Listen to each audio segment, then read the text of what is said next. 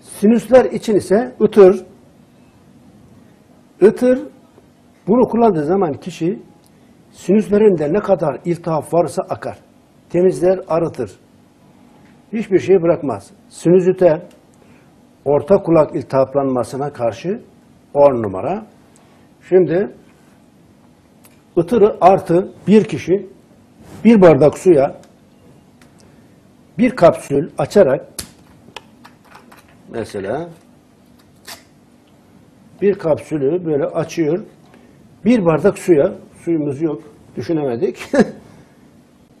bir bardak suya, sıcak suya bir tane kapsül açıp karıştırıyorsunuz. Artı buna bir çay kaşığı sodyum bikarbonat, bir, kaş, bir çay kaşığı Himalaya tuzu karıştırdıktan sonra ne yapıyor? Kişi burnuna çekerse sağ burnuna, önce sağ burnuna çekip sol burnuna sümkürecek.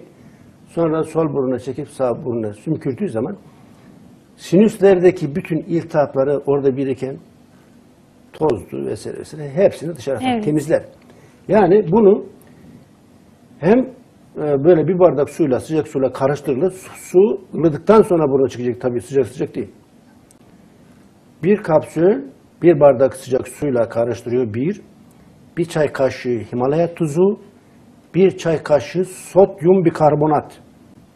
Bunları karıştırıp burnuna çıktığı zaman kişi burundaki bütün orada biriken pislikleri temizler, aratır. Fakat illaki böyle şey yapmak gerekmez. Kişi bunu günde üç defa bir tane ıtır aldığı zaman sinüsleri temizler, arıtır.